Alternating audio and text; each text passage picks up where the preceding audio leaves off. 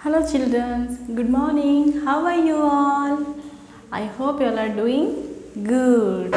Okay मैं आज आपको एक सुंदर सा कहानी सुनाने जा रही हूँ उस कहानी का नाम है द क्रो हु प्रिटेंडर एक बार एक कौवे ने एक खूबसूरत मोर को देखा उसे भी मोर की तरह सुंदर बनने की इच्छा हुई उसने क्या किया पता है?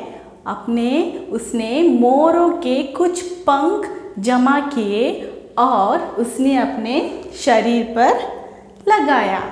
देखो अच्छा लग रहा है क्या?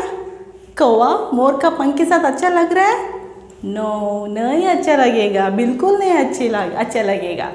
पर वो बहुत अजीब लग रहा था।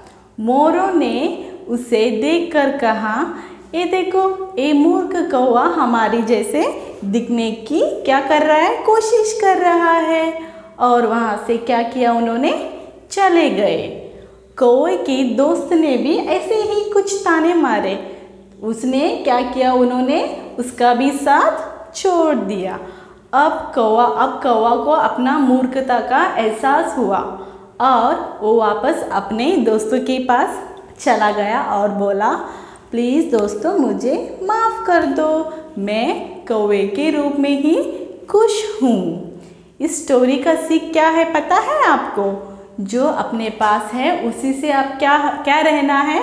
संतुष्ट रहना है। ठीक है बच्चे लोग अच्छा लगा आपका story okay very good bye bye